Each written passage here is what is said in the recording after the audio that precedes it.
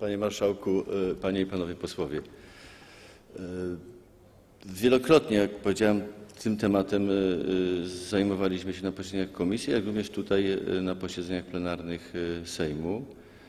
I wielokrotnie powtarzaliśmy i dalej powtarzamy, że transakcja nie została zawarta.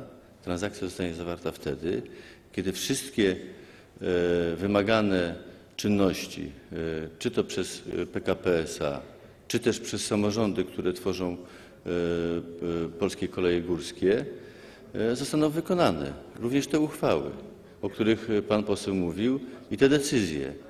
I tylko wtedy ta transakcja zostanie domknięta, jeżeli, jeżeli e, 100% e, e, wymogów wynikających z przepisów zostanie spełnionych. Nie ma i, i nie ma i nie będzie innej okoliczności w tej sprawie. Także proszę być spokojnym.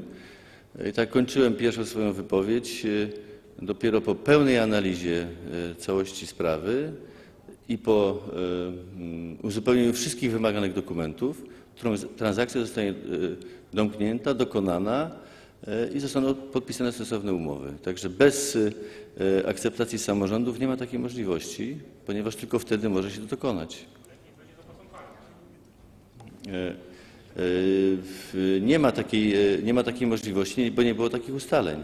Nie było takiego, e, takiego postępowania w czasie procedury e, postępowania. Ja tyle mam w tej sprawie do powiedzenia i dziękuję bardzo. Dziękuję.